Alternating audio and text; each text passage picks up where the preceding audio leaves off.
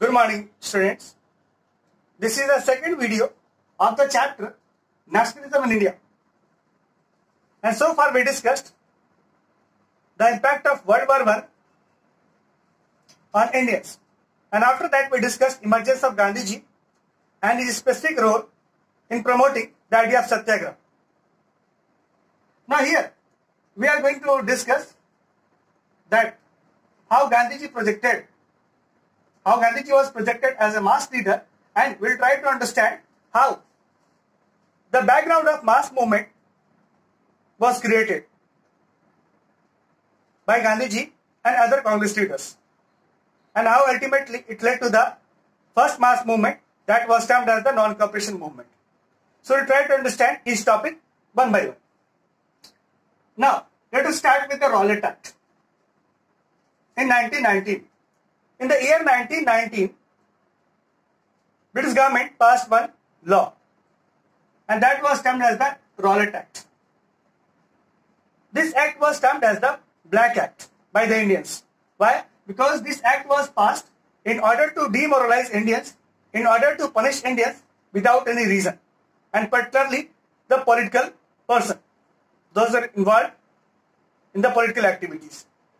As per this act, if any Indians will be found in this will be found in, involved in any suspicious activity, he will be booked in the jail for the next two years and there will be no trial.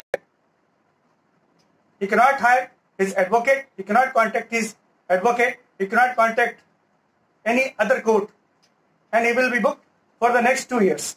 So that is why it was completely boycotted by Indians and this was termed as the Black Act.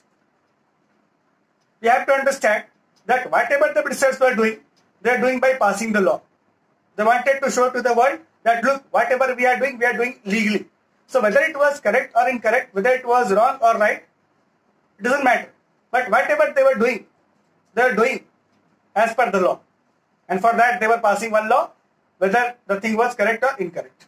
So they passed Rowlatt Act, it was a law, and according to that law, they told clearly that we are authorized to punish any Indians who is involved or who is uh, illegitimately or who is alleged to be involved in any political activity that is quite disturbing for the Britishers. So that person will be booked. So that is why this act was completely boycotted, completely criticized by all the Indians. And in order to violate, in order to criticize this act, various activities started in our country. On 6th of April 1919, All India Hartal was also observed. All India strike or All India Hartal was also observed and people boycotted the Britishers. After that, all over the country, a fire was there against this particular act and people were taking it directly attack on their fundamental rights or their independence right or their independent rights. So this is why this act was termed as the Black Act. And after that, many leaders came up to oppose this act. In the Punjab, particularly in the Amritsar, Kichlu brothers were there and they were protesting against the Rowlatt Act. So Britishers came, British soldiers came and they arrested Kichlu brothers and after that their supporters, the Kichlu brothers supporters, they assembled near the Jallianwala Bagh or in the Jallianwala Bagh, not near, in the exactly Jallianwala Bagh. It was the incident of 13th of April 1919 and it was a coincidence that Baisakhi festival was also going on at that time and people approached from different parts of the state to visit there to enjoy the Baisakhi festival. And at the same time, the Rowlatt Act was there and it created a lot of disturbance. So people assembled in the Jallianwala Bagh in order to listen to the protesters. As well as at the same time, we have to understand that Baisakhi festival was imposed. Here Britishers, because they were not happy with the oppressors or with the criticizer, so at the same time in 1919, martial law was imposed. But people were not aware of this.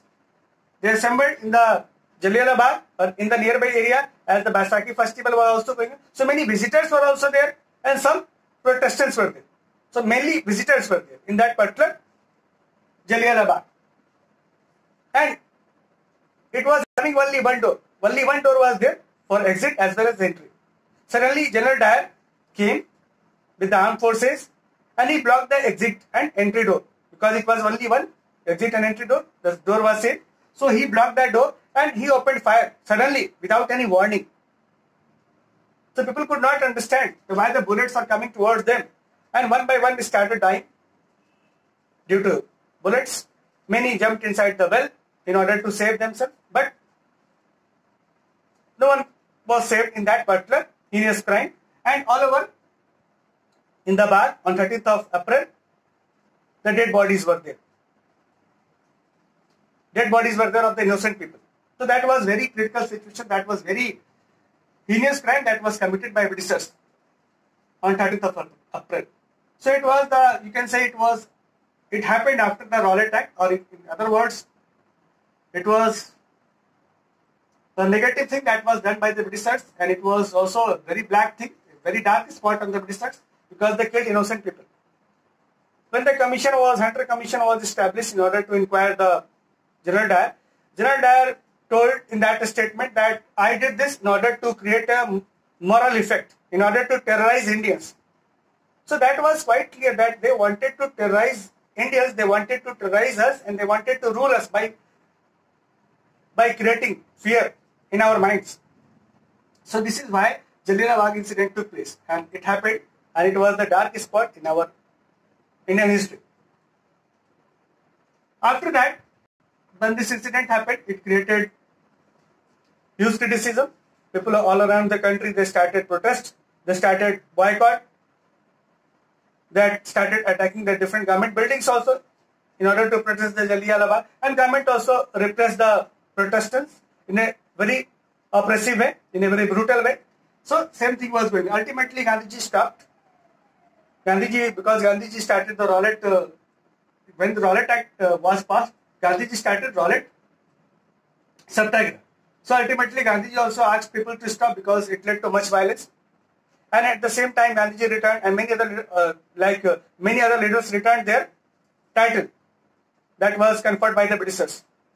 Like Rabindranath Tagore returned the title of knighthood that was given to him. Similarly, Gandhiji returned Kesari Hind, the title of Kesari Hind that was given by Britishers to him when he was in the South Africa. Okay. Now after that, the Gandhiji understood that in order to join Britishers, in order to teach them lesson, what we want, we want a mass movement. Because people are not united at the time, so Gandhiji decided to start mass movement or a great movement or you can say a big movement against the Britishers. Because the movement that was going on before that, it was very small movement. It was specific. It was located only in some areas. It was localized movement. So Gandhiji finally decided that Britishers are not going to listen like this. They need mass movement. In that case only, maybe they will understand our problem. So Gandhiji decided to launch mass movement at the time, but there was one problem. The problem was that the Hindus and Muslims are not united. They were moving in different direction at the time. So Gandhiji thought that if you want to start the mass movement, we need to connect both Hindus and Muslims. And all of a sudden Gandhiji got this opportunity because of the Khilafat movement. In India, Khilafat movement was going on by Ali brothers. And why this movement was going on? Because during World War One, when World War One was over, at the at that time, the Britishers they made some treaty with the Sultan of Turkey. And Turkey was, uh, was termed as the messenger of Allah or Khalifa by the Muslim people. And the treaty that was done by the Britishers with the Turkey, Sultan of Turkey, it was very humiliating. And that is why people started protesting. The Muslims all over the world started protesting against the Britishers because they misbehaved with their Khalifa. So in India also the movement started, that was the Khilafat movement against the Britishers by the Muslim leaders particularly the Ali brothers. So Gandhiji thought that it is the right time to support the Khilafat movement. So Gandhiji told to the Ali brothers and the other important Muslim leaders that we are going to support you in this movement and you should also support our mass movement that that we are going to start very soon.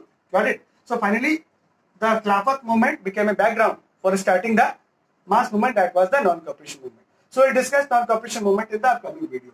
So this is all about this topic. Thank you so much.